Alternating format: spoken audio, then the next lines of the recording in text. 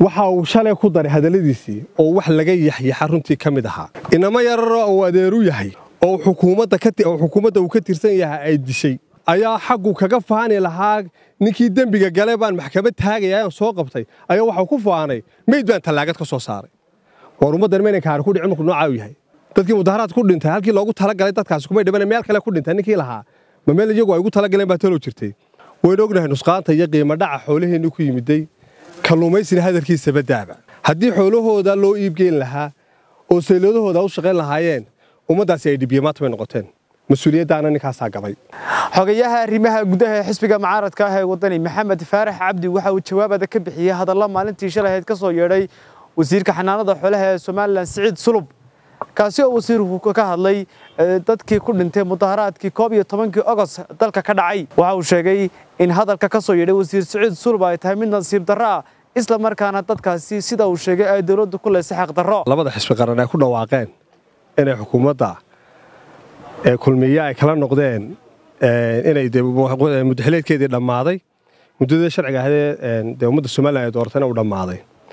Waxaa soo ifbaxayey wasiiro dee xukuumaddaa hore xisbiyadu sheegeen ka tirsanaa oo si habaqli'iya oo hambabara warbaahinta isaga soo dabadhacayay oo midba meeshii uu is leeyahay meeshaasaad malaha somalilan wax ku yeeli kartaa.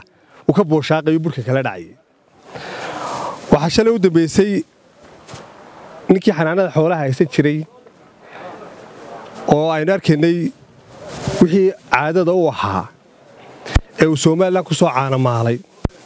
Tan iyo intii la aasaasayba uu shalay dib ula soo noqon ladhkiisii ninkaas wasiirkaahi wuxuu shalay la yimiday wixii caadadu ahaa berigii hore waa nin weyn oo toddobaatan jira. Waxaa wasiir ka ahaa wasaaradda xanaanada xoolaha iyo kalluumaysiga waa meeshii khayraadka dalkuba yaallay waa meeshii ummaddan noloshoodu ay ku xidhnayd. Waa meeshii ummaddan laga kafargarayn lahaa ee saboolka runtii lagaga saari lahaa. Waynu ognahay nusqaanta iyo qiimo dhaca xoolaheenni ku yimiday kalluumaysina hadalkiisaba daaba xaggu ummadda uga raadin lahaa nolol oo xoolahooda nolol ugu soo bedeli lahaana maanta waxaad la wada socotaan in magaalo kasta oo somalilan ka mid ah inay intaasoo i d b ay u dul yaallaan haddii xoolahooda loo iibgeyn lahaa oo sayladahooda u shaqayn lahaayeen ummaddaasi ay dhibiyamaata bay noqoteen. Mas'uuliyaddaana ninkaasaa gabay. Waxa uu caado ka dhigtay inuu reeraha somalilan kolba cidda ula joogo maayo reeraha kale u maago. Waxaynu wada ogeyn markuu daahir yaale xukuumaddii udub ka tirsanaa inuu akhriyi jiray annagaa dhab libaaxaho labadaa reere kale amaha reeraha kale daahir yaalaannu ka ilaalinaa hadalladiisii way duuban yihiin oo warbaahintai ku jiraan. Shalay markuu waddani nala ahaa waxaan uga taag la'ayn war habar awaldaa waa somalilan waa dadkan codka ka doonayno waa qarankanay qayb ku leeyihiin ee dadka ha kala saarsaarine daabaa shalayna loogu taag lahaa markuu waddani joogayoo ereyadu ku hadlayey dee mikrofoonnada uu kaga hadli jiray iyo kuwa annaga hoos noo odhan jirayba dee haddadiiu baadhaan wad yaabaysan maantana waxaa looga taaglaayay waaba reerkiinniiddaa oo waxa uu shaqo ka dhigtay haddaanu reerkoodii caayin inaanu arsaaqad dhadhaminaynin siciid waa toddobaatan jir. Waa dadkii somalilan horumar gaadhsiin lahaa.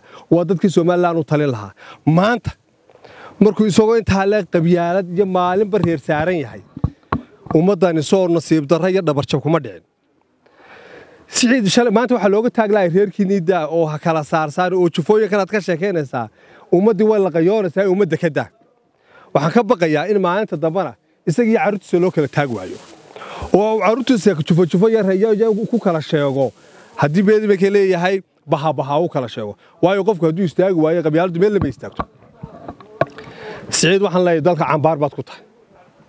Sumcadarrada somalilan kow baad ka tahay. Toddobaatan jir baad tahay qabyaalad ku ababay.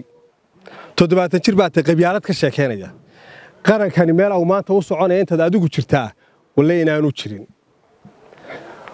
Waxa uu shalay ku daray hadalladiisii oo wax laga yaxyaxa runtii ka mid ahaa. Ina uu yidhi meyd baan tallaagadda ka soo saaray. Inamo yararo uu adeeru yahay oo xukuumadda uu ka tirsan yahay ay dishay oo ay iyagoo mudaharaadaya la toogtay ayaa xaggu kaga faani lahaa ninkii dembiga gale baan maxkamad taagayaa soo qabtay ayaa waxau ku faanay meyd baan tallaagad ka soo saaray. War ummaddan maynan kaari ku dhicin markuu noocaa u yahay.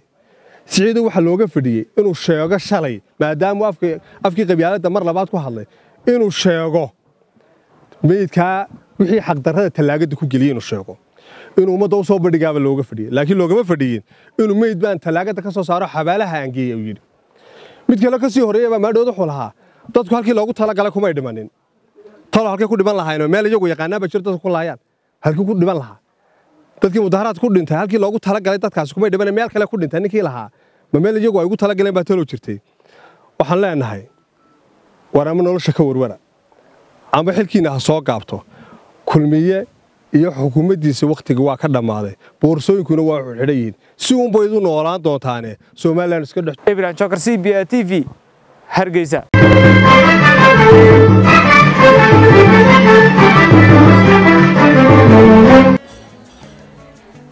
واو اسبوعك في عايز صاحبي waad ka heshay sooma ما شاء الله صح ما عاد كش بسيط waxaan ku shubtay xidhmo furan toban doolar baad ku shuban kartaa shan baad ku shuban kartaa shan iyo toban baad ku shuban kartaa labaatan baad ku shuban kartaa